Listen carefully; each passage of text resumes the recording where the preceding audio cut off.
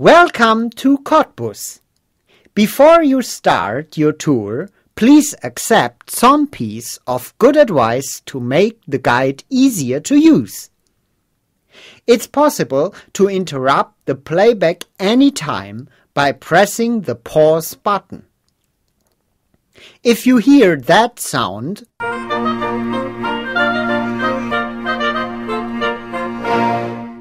you should use this function after the direction to the next station are given to you. Please take forward the playback after arriving at the next station. In case you want to resume a passage, you must press and hold the skip button to rewind till the part you want to hear again is arising. Have a nice day in Cottbus with this audio-visual tour.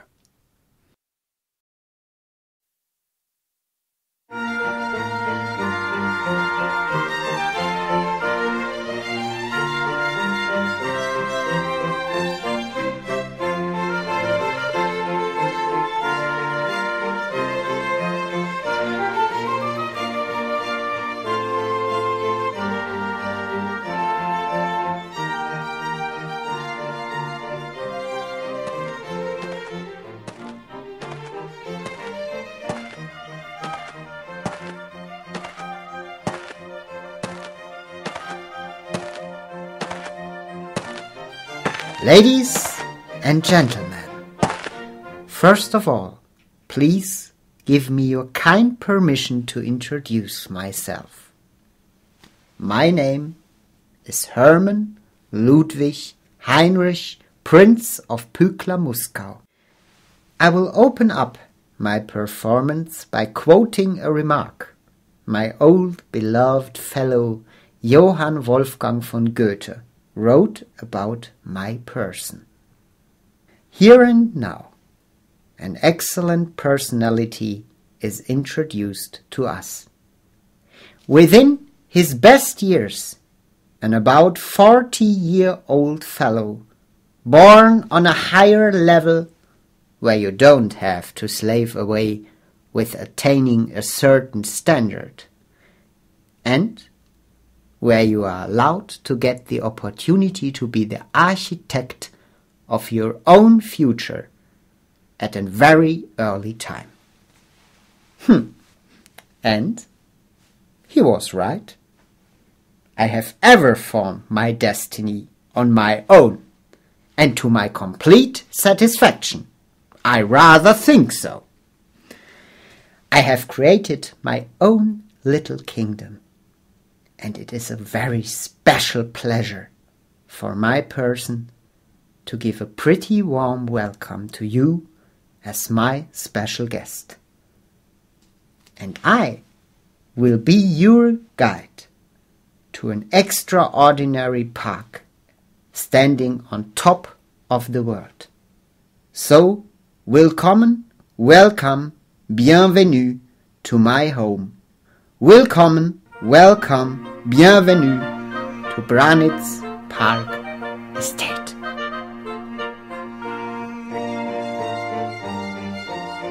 Well, that moment we are standing inside the heart of Branitz, the estate's buildings. The park's inside area and even the farmland are managed from that central point. Following the British example, I created a so-called ornamental farm. There is a complete circle of used farmland around the core of the park's area, managed and cultivated by my farmer's hands. All necessary buildings can be found on the estate's area.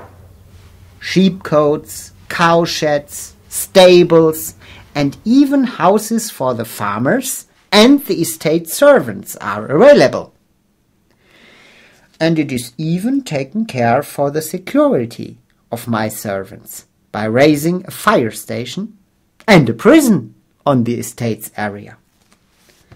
Sometimes free range dogs disturb the idyll of Branitz estate, In that case, my special Branitz Estates guards had special permission to shoot at them. For that reason, please, in your own interest, put your doggy fellows on the lead.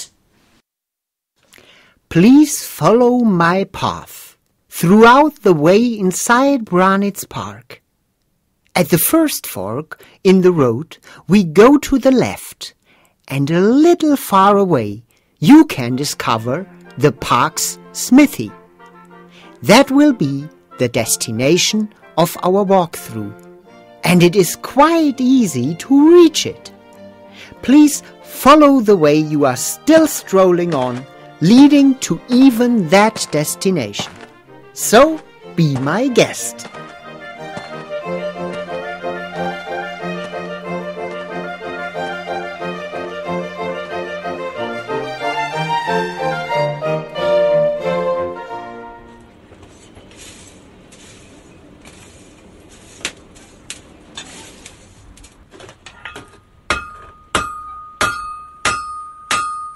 Smithy was finished in 1849 and built on the inspiration of the English neo-Gothic style. Surely you have recognized the Middle Eastern influence on the building's method of construction. With the little towers you see, it really seems to be a little cozy castle. It has been used for about 80 years, and my blacksmith was responsible for a huge amount of work in and outside the estates and the park. Shoeing my horses and putting metal fittings on the coach's wheels, and lots more. Not long ago, a partly gold plated door was located that place. and the blacksmith was the doorhouse. High ranking personalities were greeted by my person, that place. In 1854, Wilhelm I, King of Prussia, visited Branitz and had his coach brought up to the castle through just that, hmm, let me say, Golden Gate. Today, the research station of the Foundation Fürst Pückler Museum, Park and Schloss Branitz can be found within the rooms of the park's blacksmith.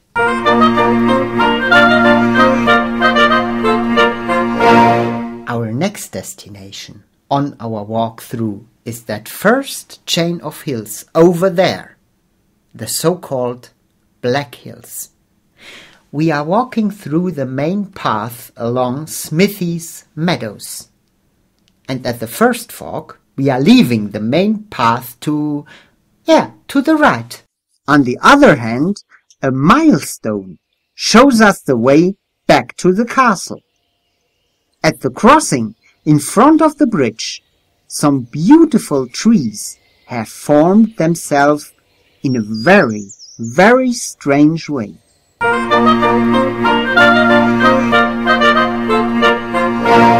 that elevation you are looking at was thrown up by digging up Black Sea. and for that reason, it was named hmm, Black Hill. But perhaps you are rather familiar with its additional name Hill of the Buried Farmer. Oh no! Naturally, I have never buried a real farmer, dead or alive, that place. Perhaps the very short and very unimportant thing about the farmer named Christian Golnick was the force behind that name. Hmm. At this point, Please give me your kindest permission for stating a short advice to you. Whatever this Farmer Golnick has reported to you, please, my beloved audience, give no penny to this fairy tales. Sorry, sorry, I, I have to calm down. Hmm. This tricky guy has made the bold remark of my person pulling the wool over his bloody eyes. Many times I have offered him a huge amount of money, only to enlarge my estate's area. But every time I tried to, he refused. He refused to sell his poor farm to me. Well, very nasty guys admit that I have only thrown up Black Hills not to see him any more. Well, no, nevertheless, it was rather suitable for me and my aim as well. Because of his mullishness, I instructed a scarecrow to this landlord to keep him his illusions of selling his farmland for a factory unit, which was planned long time ago. but that impression was less promising for him. And for that reason, in 1857, the farmer finally gave the way to it and sold his farmland to me what a guy! well, however, the Black Hills fits extraordinarily good into the whole impression of the park.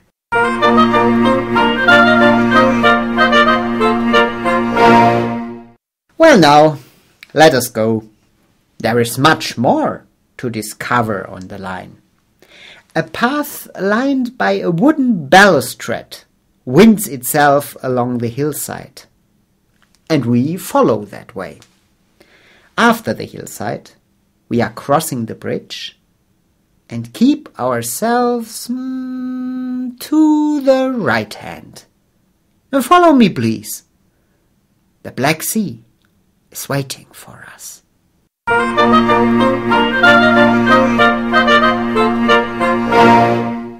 In 1847, the Black Sea has already got its final form and cultivation. Please look on the light of the sun, being caught by the foliage of the trees standing around the lake. I think it seems that the lake seems to be black like midnight. Please step a little forward and look at the castle's reflection on the lake's surface. It is more than delightful and charming. The Swan's house is situated on a small island within the lake. It is designed by myself in a kind of Swiss style. I have seen houses like that on my journey to Italy. Thus I have made a reproduction on that Italian example.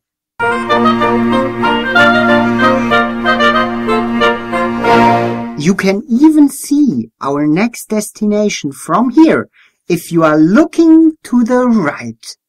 The chain of hills, the so-called Moonlight Mountains. On the next fork on the way, we keep ourselves on the left way and stop beyond the hills. By the way, it is time for a special kind of gymnastics. Come on, let's climb up the hill and we'll meet again under the moonlight shadows on the top.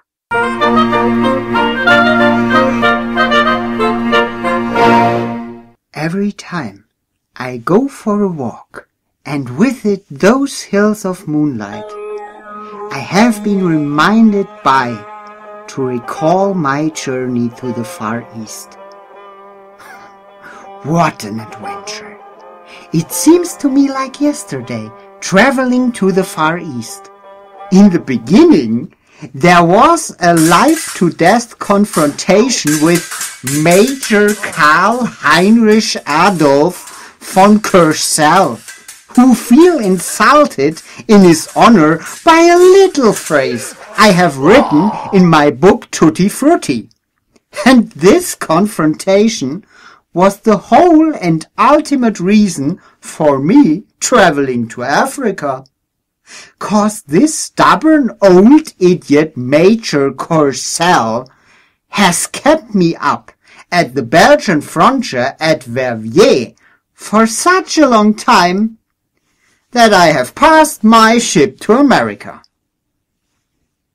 But finally, hmm, finally it was a stroke of very, very good fortune for me, looking at the various experience I have never had without that stroke. By the way, I had about twelve confrontations like that one, and I have always been victorious. Well, in February 1835, my ship reached the port of Algiers, heavily armed by horse and dressed in the fascinating Far Eastern way, we took a ship at Bône which is today well known as Annaba. And we traveled to Tunis and to the local masters. The governor of Tunis, Mustafa al-Hussein, gave me an audience inside his palace. It was not very difficult to improve our relations that way that we became the dearest friends. After having spent a beautiful New Year's Eve of 1837 at Crete, I went back to Egypt, back to the continent, back to the fascinating Africa. I have lodged as Wise King Ali Pasha's special and royal guest for two years and was welcomed and received by His Royal Highness with all royal honors. By the time I was released from the burden of financing my standard of living, I had my own palace with slaves and servants making all my wishes come true. That gave me the freedom to scout this exotic country. The pyramids are even the most fascinating buildings humanity ever created and built on this earth. And I, I was not able to resist the temptation like all my fellows before. Therefore, the name of my faithful sweetheart, Princess Lucy, signed the top of the Cheops pyramid. As one of the first Europeans, I traveled through the southern parts of the country, along the riverside and the banks of the Nile, and afterwards on a trip to the heart of Sudan. Only the strains of that journey have put hmm, have put an end to the whole discovery with the new won knowledge and the various fantastic experiences which had been in my mind for a very, very, very, very long time, I started traveling home in 1840.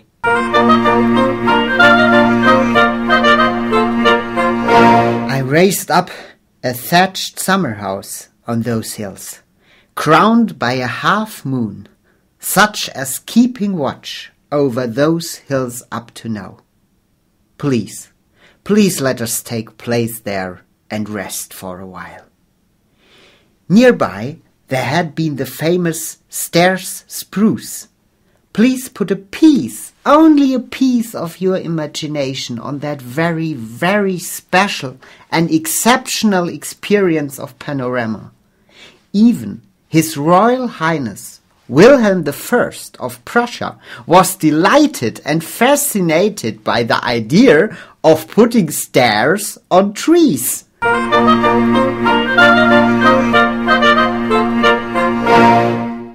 Be careful. Now the way is getting a little more difficult. Please give me kind permission to walk on through.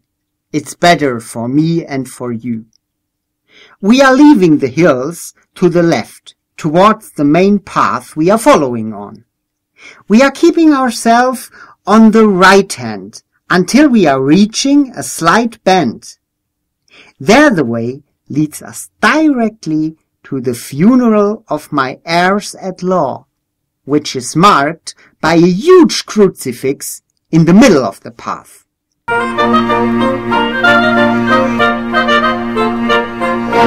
When I first came to Branitz, in the age of 60, Branitz Castle and estate has been in the ownership of my family for 149 impressing years. Hmm. I, I have to admit that my behavior in younger years has not come up to the expectations of the society. my waste of money really forced my parents to cut their final contributions. You can say with complete justification that I was a rebellious young noble boy. But later on, yes, I regret to say that sometime my father was the mortal enemy of my whole lifetime. Hmm. But with the heir, I have come to power over the estates and the indebtedness as well. To have to sell Muskau. Hmm was one of the hardest things to do for me.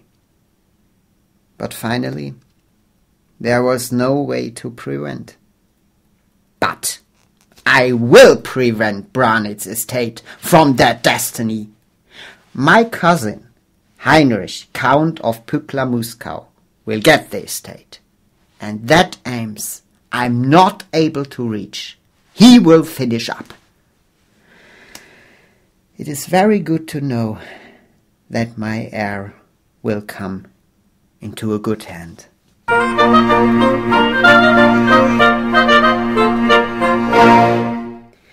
Please keep a little calm on setting your footsteps, cause now we are going to follow the way leading us directly to Snake's Lake. Right from the caves, we are going to the next crossing and we will pass to the right towards another crossing. This time we turn to the right towards the banks of the Snake's Lake.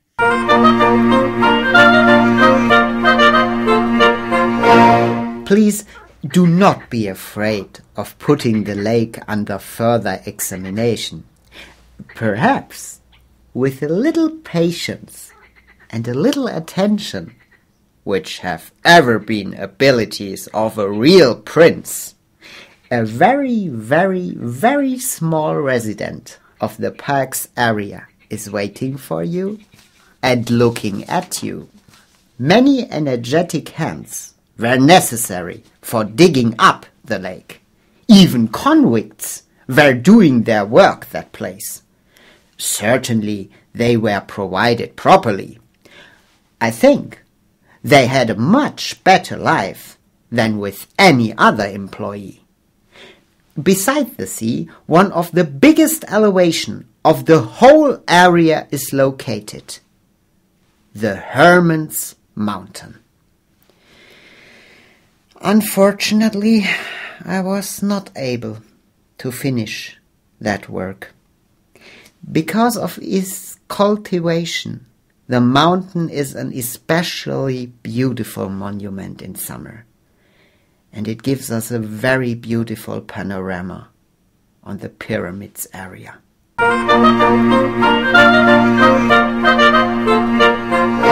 Now we are going along just one or two steps heading the pyramid, our next destination.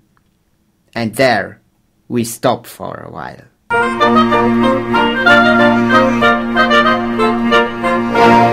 Do you agree with me that this is an enormous symbol of my royal power and creativity? Pyramids are causing a specific kind of fascination for us. The journey to the Far East inspired me to realize my work. On the example of the Nubian grave hills of Meroe, I have raised the pyramid until 1862.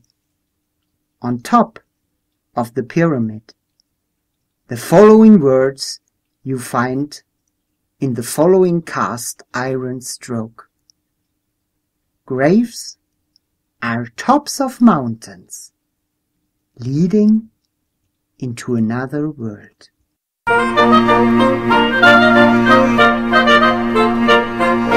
We should make a little break to surround the pyramids and enjoy the panorama.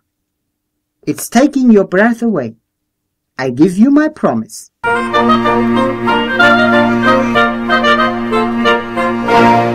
In western direction, the tumulus, my grave, is situated in the middle of the lake. Ancient life and ancient death, I am accustomed to say.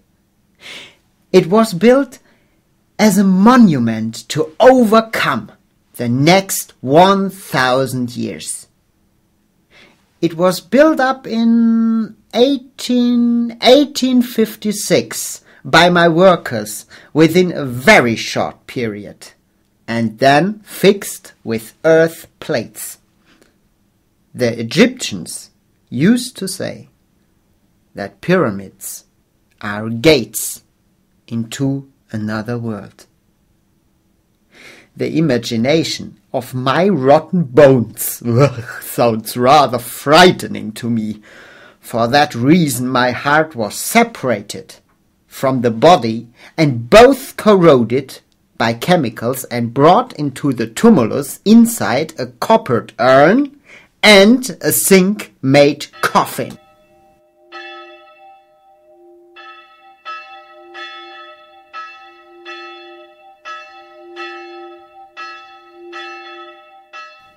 The 9th of February was a very cold day. The lake was completely frozen.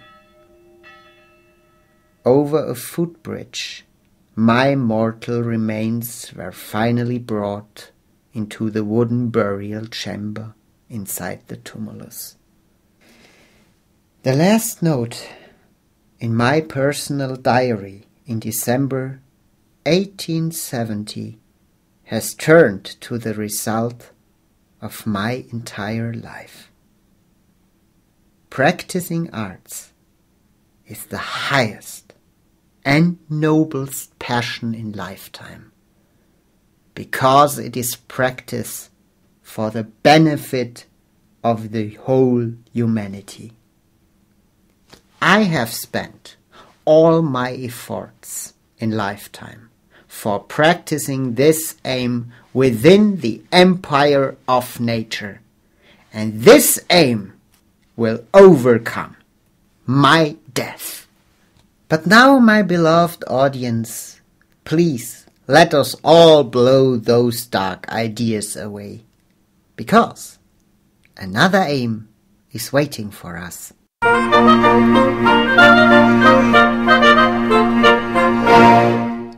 Please follow me along the waistline, passing the pyramid lake to the right and then crossing the bridge to the left. The racing hill is the next highlight on our way and visible with its parasol on top.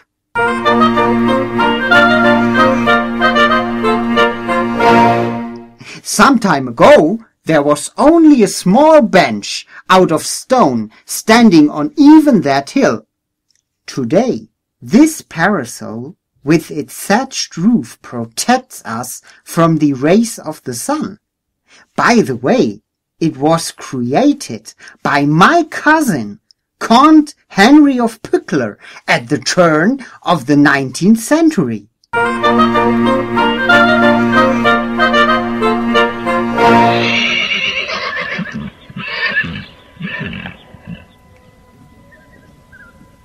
Are you as enthusiastic for horse riding as I am? The hill was used as a vantage point. It was situated as the end of a race course around the pyramids area. I'm very sorry that there will never be any kind of race. But inside my stables you can find the noblest horses and other kind of coach animals as well. For example, someday I had the idea going for a ride inside the center of Berlin in a coach carried by four deer. Would you please imagine the stir caused by this appearance throughout the whole country? But a real prince has the obligation to be well known and popular.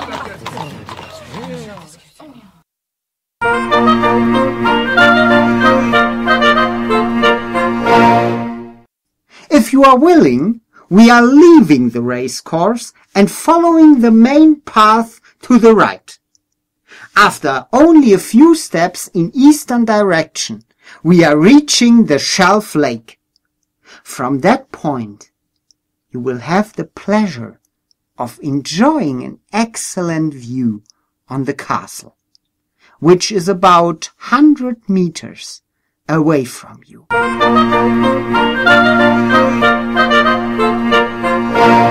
In case of silent weather, you are able to see the castles and the park's reflection on the whole surface of the lake. About 60 up to 70 workers were engaged within the park's area at the same time. In 1971, the garden architect Helmut Rippel estimated the amount of earth which was moved within the park to be about tremendous 100,000 cubic meters.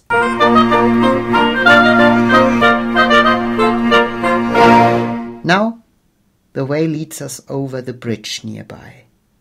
Behind that bridge, a path is winding itself around the lake. If we follow that way, an upright crucifix on top of the holy hill appears.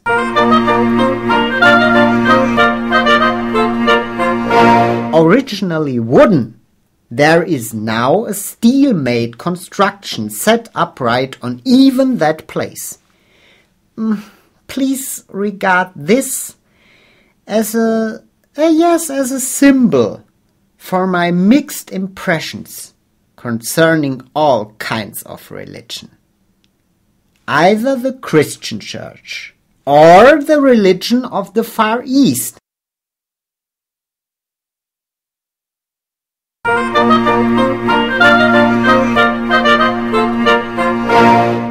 Please keep on walking through. At once, we are facing the driveway.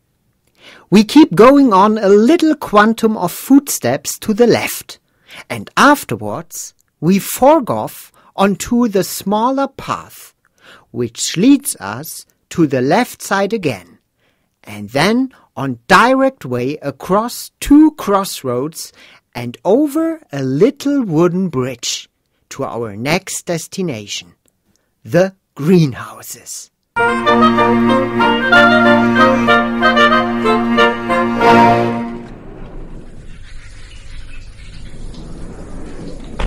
There are five greenhouses.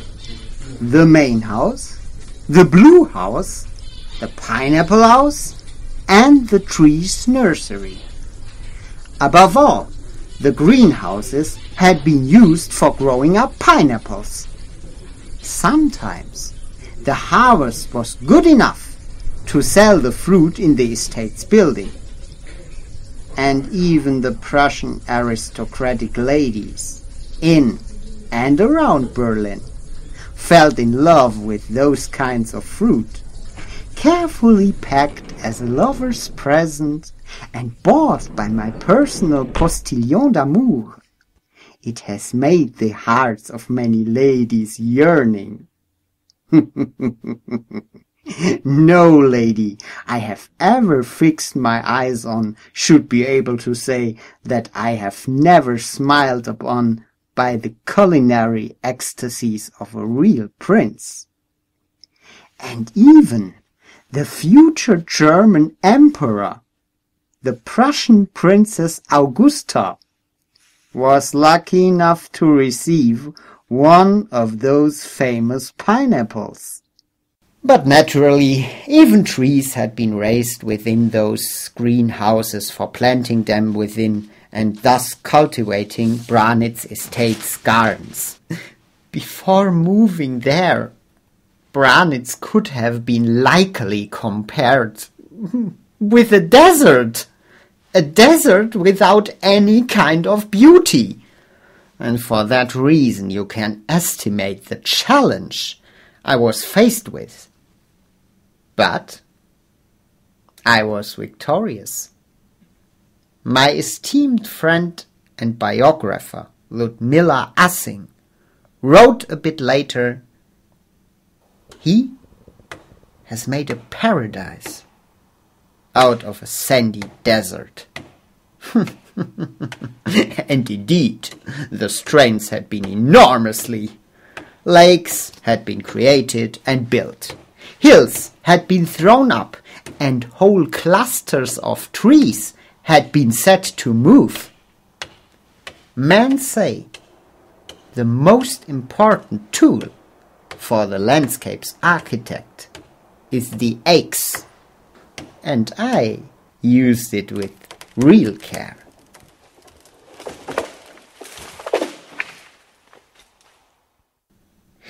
During the 19th century, the Brits created a method to move even the biggest trees from one point to another without any problems. And as a landscapes artist full of thirst for knowledge, I have improved that method to a higher level. The wagon I used for replanting my trees had the impressive size of 1.60 meters in diameter Within the estate's area, you can admire a reproduction of that wagon. In the first four years of working in that park, I removed about 400 trees from Branitz and the Branitz area.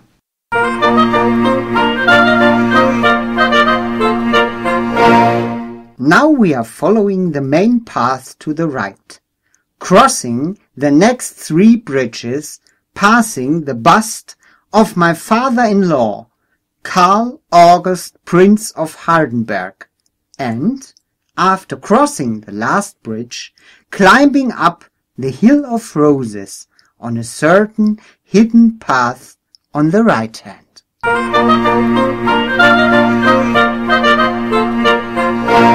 I think this place gives us the best offer to rest and to enjoy the panorama of the castle and the pleasure ground.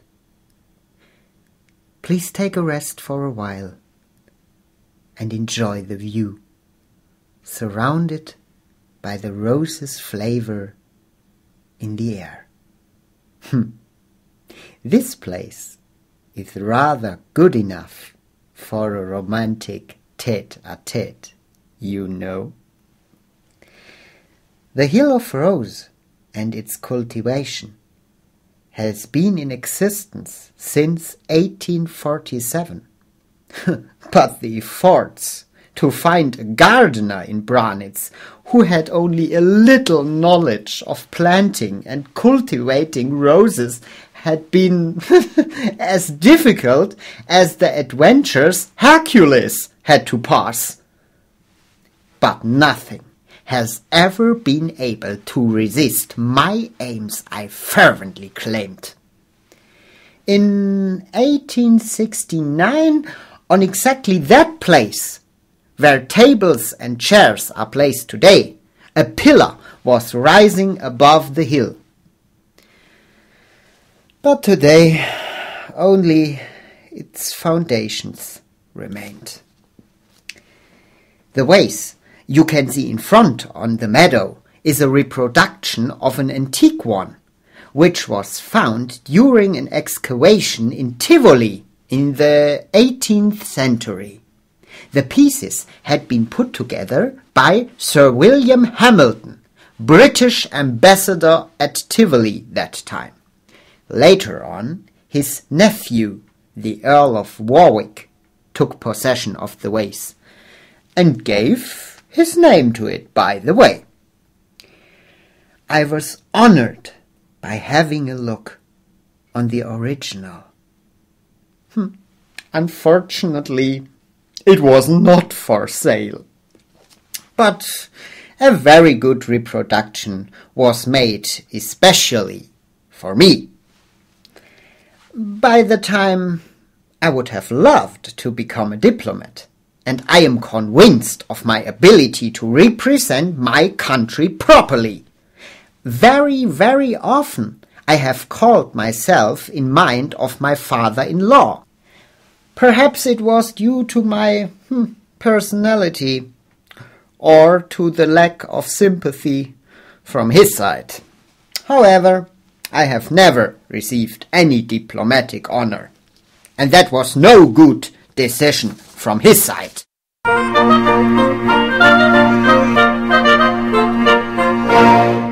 Now we are leaving the hills, accompanied by the smell of the beautiful roses and visiting the most favorable part of the estate, the royal stables.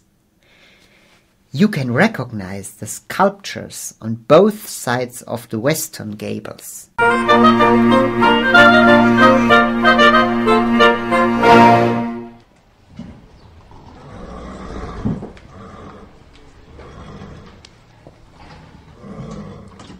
The paradise on earth is on the back of horses. The writer Mr. von Bodenstedt said once upon a time every man and woman who have ever spent the time with this kind of sport will agree to his words on all counts. I have built up a very impressing royal stable for my private paradise. Unfortunately, I'm not able to show my favorite horse to you, for my beloved Ajame, my favorite Arabian mare. Well behaved, beautiful, and intelligent as well. There is no other horse on the world like that one. In my royal position, it is an obligation to have a stable with noble horses like I have, because it is a kind of representation of my standard of living. Twelve of the best coach and racing horses can be found within my stables. Certainly, they were only reserved for high ranking special guests and my dearest friends. I enjoyed riding very often because it is a pleasure for body and soul and gives an impression of freedom and complete adventure. And even my age will never keep me away from riding the most dangerous tracks. If you have the possibility to visit Dresden, you have to have a look on the so-called Brühlschen Terrassen. to jump into the Elbe from that point by horse is a fabulous experience. And it seems that it has never done any harm to me. and I was never afraid of breaking down my personal frontiers and becoming more and more popular to the audience. When the whole world started to take possession of heaven, I first went to Berlin and then to heaven. No, by balloon. well, I miss that time so much when my lifetime was filled with adventure. By the way, the stables are often accommodating exhibitions, and thus it is worth to give a little hand and look on them.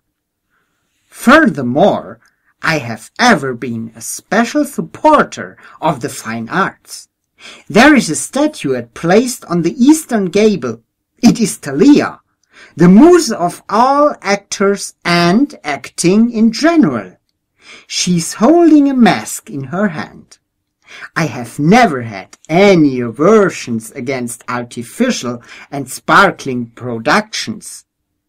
And due to that reason, later on, during my, well, let me say, years of retirement. I used to welcome my special guests in my Far Eastern dress.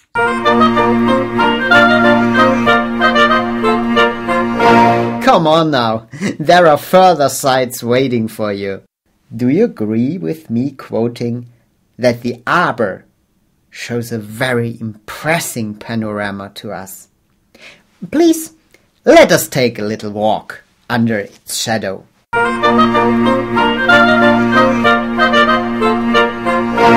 This part of Branitz was not open to the public. The arbor between the royal stables and the chevalier's house marked a very intimate area of my park, which was only reserved for my person and specific guests. but I think I can give you permission to walk and rest for a while that place. About sixteen reliefs made of terracotta are set into the walls of the arbor, inspired by the sculptures of Bertel Thorwaldsen.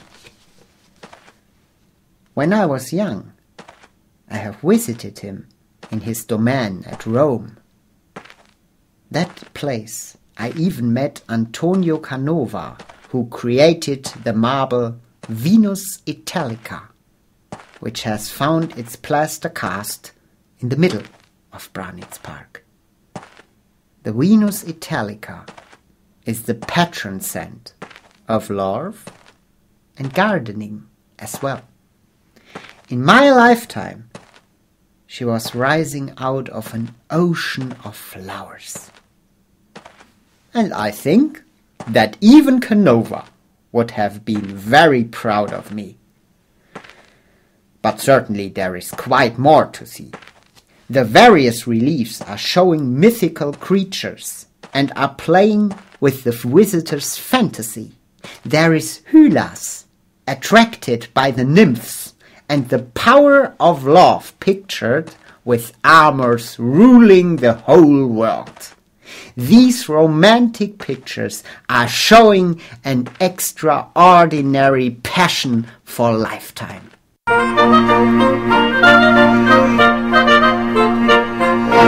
I give you advice to enjoy a little momentum under these lovely arcades.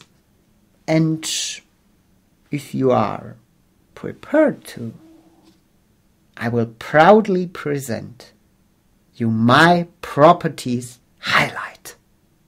My castle.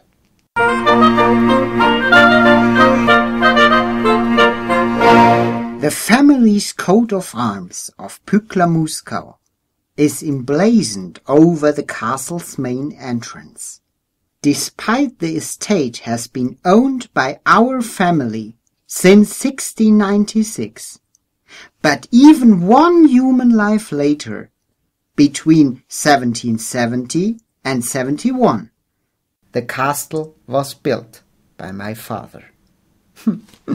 Please Imagine the measure of disappointment when I arrived at Branitz and perceived the horrible condition of that castle.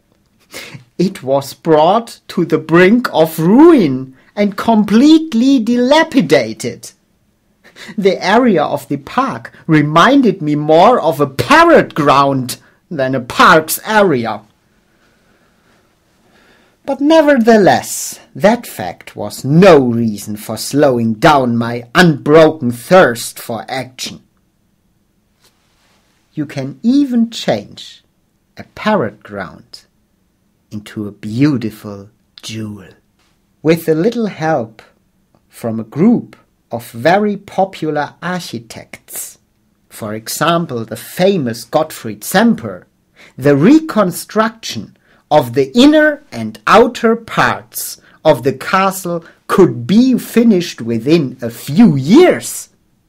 there had been no structural changes made on the outside parts of the castle. The facade of the castles and the estate's buildings became a pink painting. The formerly red tiles were colored with black tar and the inside decoration was built under my personal direction. Certainly, only the best kinds of materials and furniture have been taken for the inside decoration of my home. And even the decoration of the walls is made from the best kinds of wood. You should definitely spend a little time for walk through the rooms of my castle. Even the furnishings of the library are worth spending time for a visit.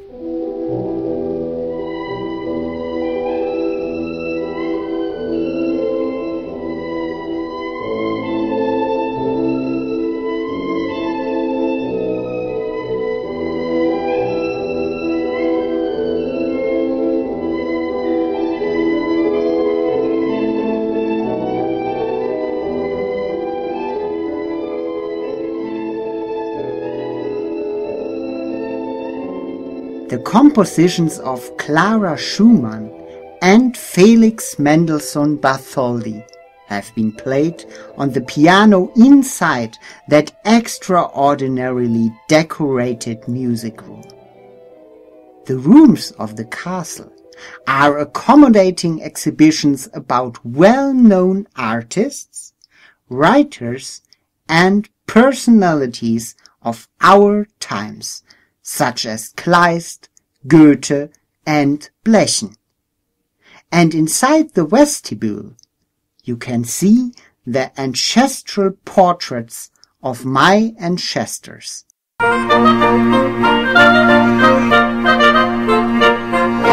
Now, please follow me around the castle. From the terrace, you are allowed to enjoy an excellent panorama over the castle's lake into the park's inside area.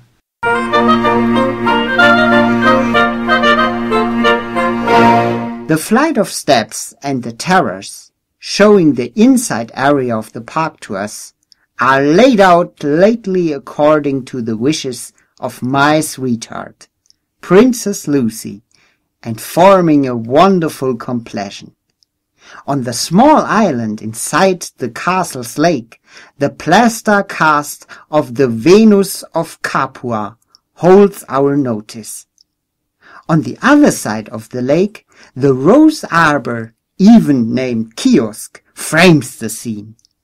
I have put up the bust of the famous singer Henriette Sontag inside.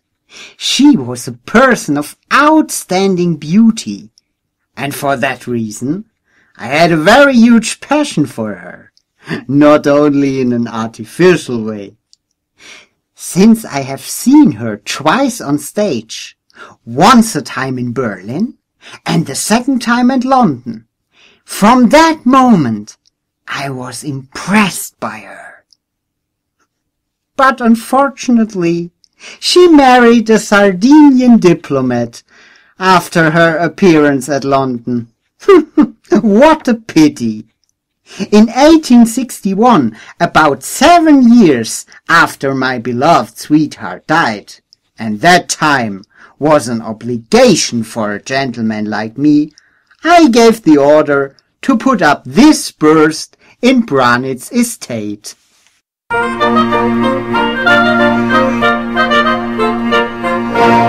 Now uh, we want to have a little look on the Chevalier's house. Therefore we have to leave the yard and keep on walking towards the summer house.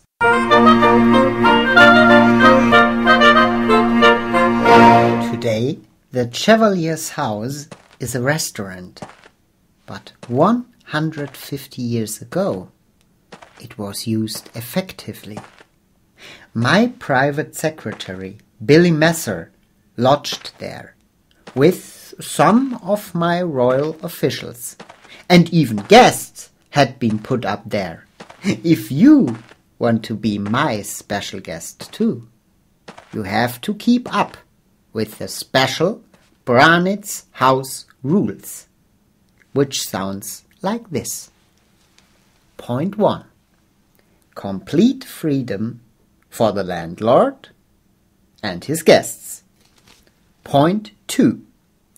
Everyone gets up when he wants to and takes breakfast what he wants and orders on his room. Hm. Personally, I never go up before lunch. Point 3. Lunch in the breakfast room at 1 o'clock in the afternoon. Point 4. If you want to drive out or take a horse ride, please give an order to the Royal Marshal Billy. Eight horses are put at your disposal. Point 5.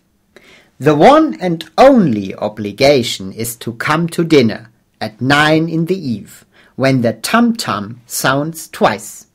Only illness, and only God may save us from, gives you dispense from this obligation. After coffee, any human being is free again. This is the custom of Branitz Hall and there was never a lack of guests at Branitz.